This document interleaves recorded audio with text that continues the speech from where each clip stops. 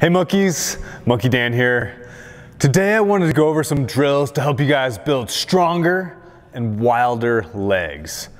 And there's one particular exercise that I think kind of demonstrates how wild and strong the legs are.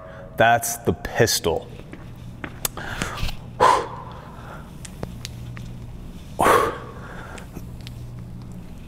So why I like the pistol and why I think it's so important is one, you have to have excellent leg strength.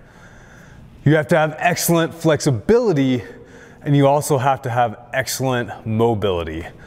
So what I wanna do is go over three different drills that we can use to help work on all those things and hopefully get you guys closer to the pistol.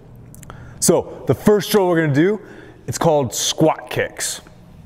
What I'm gonna do is grab monkii bars, pocket monkii, whatever I have. I want good tension in the straps. I'm gonna have my feet close together. I'm gonna sit back into a squat, so pulling my hips back, using the handles as much or as little as I need to. I'm gonna go all the way down to the bottom.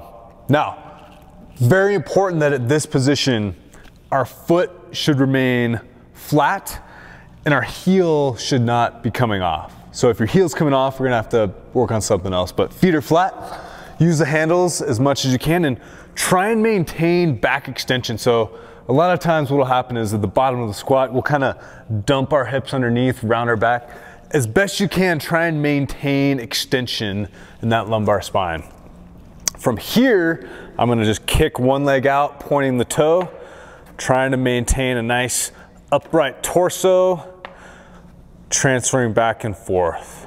So why I like this, I'm at the maximum point of flexion in the knee in a pistol. So if I'm doing a pistol, boom, at the bottom of the movement there. If I put my foot down and do the squat kicks, we're working this big point of flexion. It's the end range, one of the end range in the movements.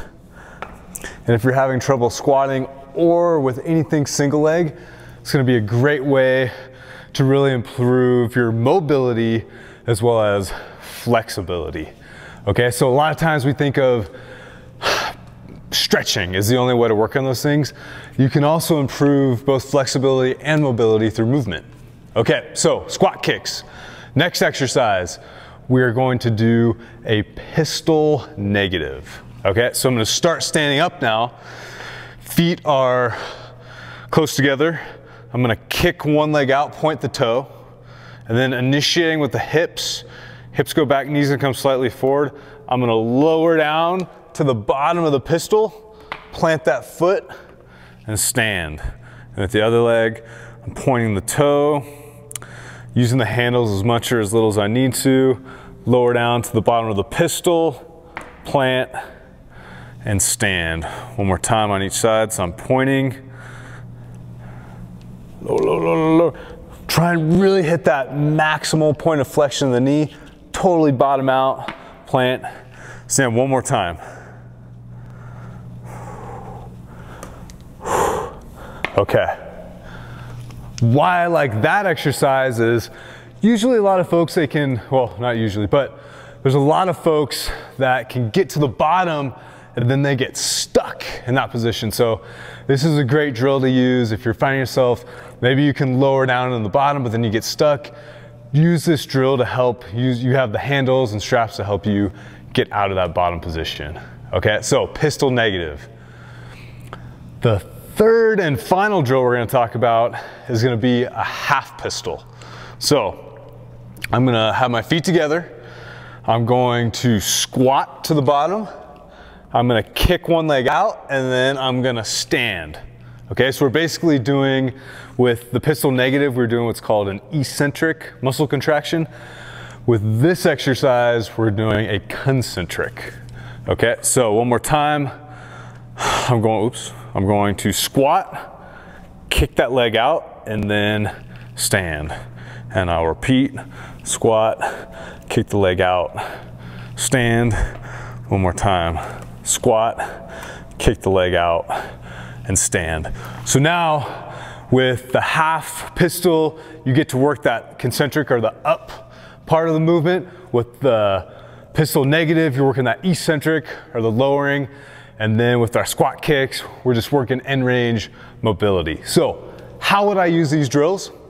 One, make sure you're warm. So probably not the best thing to do like first thing in the morning when you're rolling out of bed, but get your heart rate up, get your body temperature up, get the synovial fluid and the joints flowing. Make sure you're warm. We're doing big ranges of motion and especially if you have mobility or flexibility issues, we don't want to get hurt.